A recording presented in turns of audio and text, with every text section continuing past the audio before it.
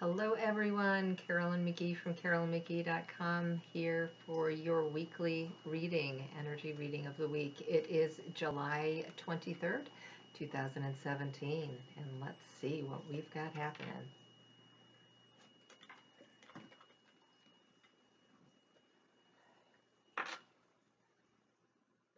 Wow, I love the balance in this card. My eye is immediately drawn to that bright light um, which is a message, and it is all about looking down that tunnel and seeing what's coming.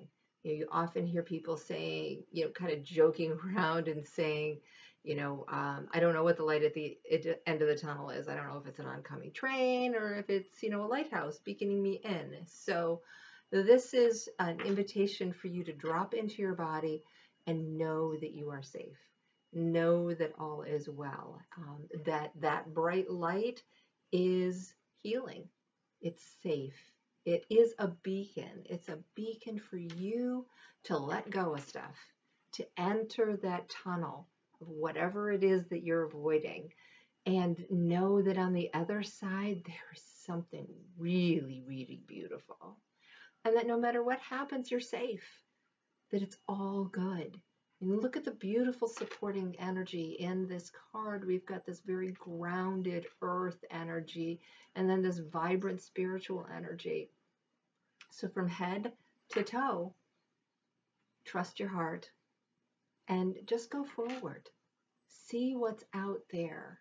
Open up your awareness. Open up that spiritual sight that you have and maybe even your physical sight so that you can really see opportunities, things that you can let go of, possibilities, and and that beautiful light, that beautiful light of God in the universe that uh, that beacons all of us, that really pulls our souls, our heart and souls into change.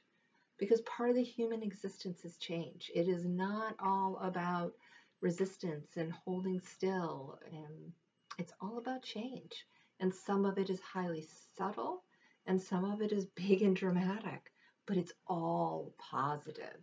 So just know that in your heart, feel it in your heart, and work. Um, actually, work's not even the right word. Allow, allow that energy of change and release and positivity and the beacon to be your guide.